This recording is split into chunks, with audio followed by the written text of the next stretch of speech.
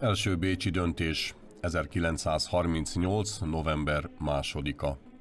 A döntés értelmében Csehszlovákia szlovákiai részének déli fele, vagy magyarországi szóhasználattal a felvidék egy része visszakerül Magyarországhoz.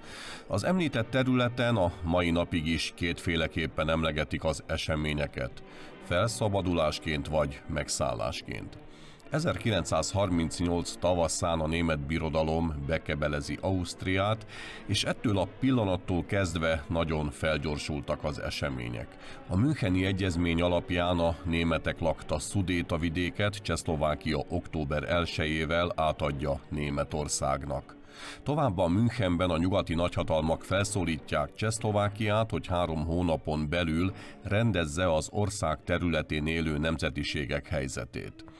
A lengyel kormány felbuzdulva a Müncheni döntésen a lengyelek által lakott területeket követeli Csehszlovákiától, amit meg is kap. Budapest is benyújtja a követelését Prágának. Benes elnök lemond, ezért a csefél két napi haladékot kér, majd Komáromban megkezdik az egyeztető tárgyalásokat, amik nem vezetnek sikerre a két fél ekkora nagyhatalmak bíráskodását kéri. Németországgal ellentétben Anglia és Franciaország e tárgyalásokban már nem vesz részt, amik Rómában zajlanak. A csehszlovák és magyar külügyminiszter vezette bizottságot 1938. november másodikára Bécsbe kérik, és ott tudatják velük a döntőbírók végzését. Csehszlovákia Magyarországnak köteles átadni a határ mentén 11.927 négyzetkilométeres sávot. Az új határt a szlovák-magyar nyelvhatárra próbálták húzni. A döntést Ribbentrop német külügyminiszter ismertette.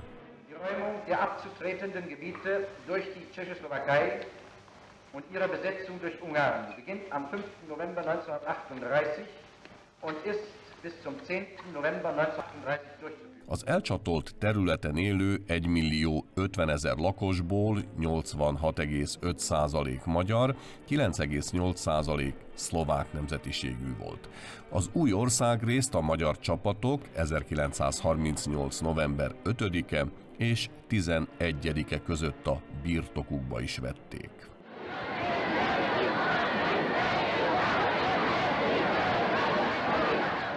Horti Miklós 38. november 11-i kassai bevonulása igazi nemzeti diadalünnep volt, legalábbis a korabeli filmhíradók szerint. Zoltán, helytörténészként meg tudod-e ezt erősíteni? Ez hozzá kell tennünk azt, hogy a csehszlovák időszak 20 évét a kassaiak egyfajta megszállásként értelmezték, tehát mindenképpen várták a felszabadulást, és amikor már kiderült, hogy az európai politika hajlandó lesz a magyarok kívánságának is eleget tenni, akkor már mindenki azt várta, hogy Kassát vissza fogják csatolni. A Reiter család háza Kassán a főutcán van, közvetlen az alsó kapunál, ahol a 38-as események jelentős része zajlott. Reiter György 1947-es születésű, de a családi legendáriumban jelentős helyet foglalt el a magyarok visszajövetele, így sok képet úgy mesél, mintha ő maga is szemtanúja lett volna az eseményeknek. Mindenki feszülten várta a bejelentést, és várták azt, hogy melyek azok a községek, városok, amelyek visszakerülnek az anyaországhoz. Elkezdték a rádióban felsorolni a településeket. Úgy tűnt, hogy a felsorolás végére értek. Egy kassaiak többenten tapasztalták azt, hogy hát Kassa neve nem hangzott el, majd egy ilyen lélektani szünet után bemondta a rádió, hogy Kassa hazatért. Óriási lelkesedés volt. Másnapra a főutca minden házán ott lobogott a nemzeti lobogó. Vagy úgy, hogy az elrejtett zászlót megtalálták, megkeresték és kitűzték, vagy pedig úgy, mint például a mi családunkban, volt egy Eta néni, aki egész éjszaka várta az zászlót, hogy reggel ott legyen a házon. Leírhatatlan volt az akkori kassaiak számára az, hogy vége lett a 20 éves megszállásnak. Márai Sándor, aki kassai lévén maga is személyesen érintett a szülőföldjek közeli jövőjét meghatározó eseményekkel kapcsolatban, kicsivel később így fogalmazta meg a hazatérők óhaját. Most nagyon neki fekszünk, és majd csinálunk valamit, egy új, emberibb és igazságosabb Magyarországot. Ez az ára mindennek, ezzel tartozunk nekik, a hazatérőknek, és magunknak is. Ez egy nemzet becsületbeli tartozása. De előbb látni akarom Kassát. El akarok menni egy vasárnap reggel misére a Székesegyházba, ahol Rákóczi hambait őrzik. A helyzet persze nem vált ideálisá. Ugye volt némi különbség a magyarországi és a csehszlovákiai mentalitás között, ezért itt bizonyos fokig demokratikusabb rendszer működött, még ha ennek is megvoltak a hátrányai, de mindenképpen Magyarországon a kasztrendszer uralkodott, és a régi urambátyám korszak. Például egy katonatiszt letegezte a taxisofőrt, akkor az meg visszategezte. Ez meg emiatt pofoszkodni kezdett. Na hát ilyen problémák is adódtak. A két társadalom között a 20 év alatt kialakult egy, egy, egy komoly különbség amit a Magyarországról jött hivatalnokok nem tudtak, nem ismertek, nem voltak erre felkészülve, és ezért például hát nem tudtak megfelelő hangnemben tárgyalni a kassai polgárokkal. Ez se volt egy pozitívum. A magyar kormány, a törvényhozás és a felvidéki magyarság vezérei kassán hódoltak Magyarország kormányzója előtt.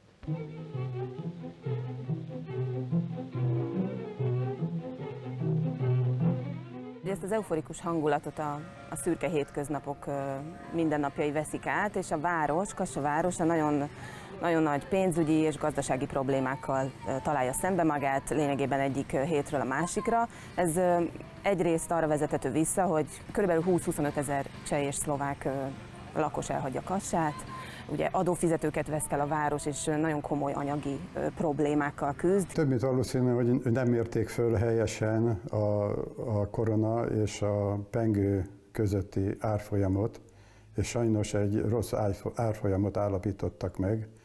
Egy a héthez állapították meg ezt az árfolyamot, és hát például édesapám is, aki egy bankember volt, jelezte Pestre, hogy ez nem jó hogy itt, itt ez, ez gondokat fog okozni, tehát sajnos ez, ezt nem változtatták meg. Az itteni vállalkozások ezt nagyon nehezen viselték, illetve nem tudták elviselni, mert tele voltak áruval, és tulajdonképpen áron alul adták el pengőjér az áru, tehát ráfizettek erre, a, a, erre a pénzváltásra függetlenül attól, hogy milyen, vállal, milyen nemzetiségű vállalkozó volt, vagy kereskedő. Tehát ez nagyon rosszul hatott az itteni polgárokra. Hitelt kell rögtön felvenni januártól, Tosz László polgármester már januárban Budapesten tárgyal, hogy be tudja indítani a városnak a gazdasági életét, és ez az egész reintegráció a Kassa városának a magyar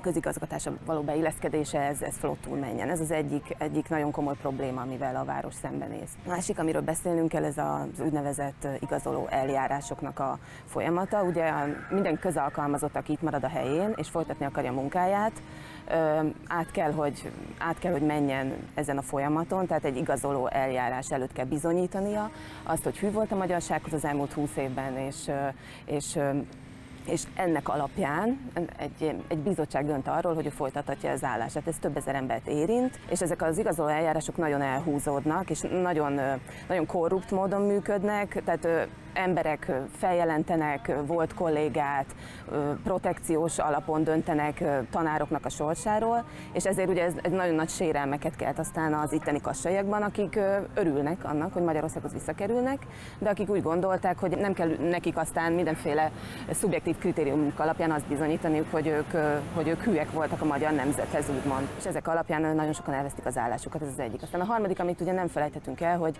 1938-ban már érvényben van az első zsidó törvény Magyarországon, tehát ez a zsidó törvény érvényes lesz Kassára is, a kassai, Kassán élő kb. 12 ezer zsidóra is, olyan zsidókra is, akik mondjuk azelőtt Csehszlovákiában magyarnak vallották magukat, és szintén örültek annak, hogy Magyarországhoz visszakerülnek, vagy ezt pozitívunként élték meg, de ez számukra ugye egy hatalmas nagy pofon volt, és 39 elején már készítik elő a második zsidó törvényt. És akkor ugye ezt ugye nem kell folytatnom, a vég, végkimenetelt ismerjük, ezt folyamatos további zsidó törvények követik, ami egészen 1944-ben a deportálásban csúcsosodik ki, amikor egész Kassának az egész zsidó lakosságát deportálják. Idehoztak egy olyan kultúrát, ami persze az övék volt, de ami, ami szintén nagyon sok konfliktushoz vezetett, mert a helyi, a helyi kulturális életnek a vezetői nem feltétlenül látták szívesen azt, hogy tulajdonképpen őtőlük elveszik a saját itteni intéz, intézményeiket, és olyan, olyan, olyan intézményekbe, új, új struktúrákba kell nekik belehelyezkedniük, ami, ami ez nem voltak hozzászokva. Ugye ez volt az úgynevezett anyások és a helyiek közötti, vagy őslakosok közötti konfliktus, bár az anyások, tehát anyások ezt, ezzel a jelzővel főleg a, azokat a közalkalmazottakat hívták akkor a, a közbeszédben, akik, akik a közigazgatáson belül helyezkedtek el, de hát ide jött ugye a magyar hadsereg is, tehát hogy teljesen a kulturális életben, a kulturális életet ez, ez ez, ez dominálta az, hogy tulajdonképpen az anyaország, anyaország hozta be a saját kulturális életét ide Kassára. A két világháború között úgy működött a Kassai Színház, hogy volt egy szlovák és egy magyar társulata. A magyarok általában mindig kisebb teret kaptak, de léteztek. Ez 38 után megváltozott, a Nemzeti Színház beilleszkedett az országos színházi életbe, de a Magyarországról kinevezett színházigazgató a szlovákoknak már nem adott teret a kőszínház falain belül a magukat szlováknak valló lakosságnak a száma az nagyon lecsökkent. Tehát ez kb. tízezer alatt volt azok, akik úgymond öntudatos szlovákok voltak, nekik voltak iskoláik, voltak egyesületeik kassán, ezek továbbra is működhettek, de hát mindent meghatározott az országos politika reciprocitás elve. Tehát az, hogy a Szlovákiában, a Tiszoféle Szlovákiában a, mondjuk a magyar kisebbség az, az milyen jogokat kaphat, hány egyesületük lehet, stb. Tehát ez, az, hogy milyen volt a helyzet a szlovákoknak a visszacsatolt területeken, az nagyban ettől függött ettől a, ettől a, két, a két ország közötti viszonytól. Egy átlag kassai számára igazából a kassa bombázása volt az a pillanat 1941. júniusában, amikor ugye egyrészt annak következtében Magyarország is belépett a háborúba, és amikor teljesen test közelbe került számukra a háború. Tehát akkor döbbentek rá a kassaiak, hogy ez itt van a közelben, ez őket is érinti, ide is repülhet bomba, és ugye akkor több mint 30 ember meghalt a belvárosban, tehát hogy civilek, nem, nem a hadsereg. Úgyhogy ez biztos, hogy ez volt az a pont, amikor a kassaiak rájöttek, hogy igen, itt ez a háború ez hosszú ideig fog tartani, olyan lesz, mint az első világháború, ha nem rosszabb, és ez minket is fog érinteni. És hát ugye onnantól kezdve a 39 után már működött a munkaszolgálat, tehát nagyon sok zsidót szintén kényszerítettek arra, hogy a, a, a hadseregbe lépjen, megkezdődtek a besorozások, tehát szerintem innentől kezdve, főleg 41-től, amikor már Magyarország is harcol a szovjetek ellen, akkor ez, ez része a kassaiak mindennapi életének a háború. Kassán nagyon erős volt a kommunista párt, és ugye Magyarország Magyarországon be volt ítva a kommunista párt, úgyhogy ők teljesen illegalitásba szorultak. Tehát a magyar párt mellett, az országos keresztény szocialista párt mellett a kommunista párt volt a legelősebb erő, politikai erő kassán, nagyon, nagyon nagy számú munkásság élt itt, és ők tulajdonképpen mind a politikai ellenzéknek a ellenzékhez sorolódnak 38 után, ráadásul az illegalitásban kell tovább működniük, úgyhogy ez is, ez is hozzátartozik a képhez. A első bécsi döntés után kezdődő időszaknak a drámai zárópontja az tulajdonképpen a nyilas terror, terror, ami megint csak gyökeres változásokat hoz a város életében, és hiszen teljesen lecserélődik a városvezetés, és egy olyan három hónapos terror indul meg, amelynek a keretében újra embereket kezdenek el deportálni, már nem csak fai, hanem politikai alapon is. Több száz embert deportálnak Komáromba, novemberben vérengzéseket, tömeggyilkosságokat tartanak, és 45 után aztán nagyon sokáig a csehszlovák rendszer és a népbírósági perekben is a nyilas korszakot összemossák, vagy hajlamosak sokszor összemosni az 1938 és 45 között itt történt dolgokkal, ami ugye megint csak nem, egy, nem a megfelelő hozzáállás. Tehát itt, itt ezt a két dolgot külön kell választani. A mögöttem lévő Poprocs, magyar nevén Jászó Mincent, érdekes színfoltja a 38-as eseményeknek. Az akkor mintegy 1600 lakosú, szintiszta szlovák falut etnikai alapon nem csatolhatták Magyarországhoz, így elveszítette természetes vonzás körzeteit Kassa, illetve Szepsi irányába. Ezért a helyiek kiárták Budapesten a határmódosítást. Annak egyében, hogy ők mind magyar érzelműek, sőt magyarnak is vallották magukat, és 1939 márciusában Magyarországhoz is kerültek. Az erősen vallásos római katolikus faluban keveset izgathatott a nagybőjt akkoriban, mert olyan táncmulatságot és nép ünnepét rendeztek ezen az abaui településen, ahogy nekem mesélték a felszabadulásuk örömére, amit azelőtt még ember nem látott Jászolmincenten.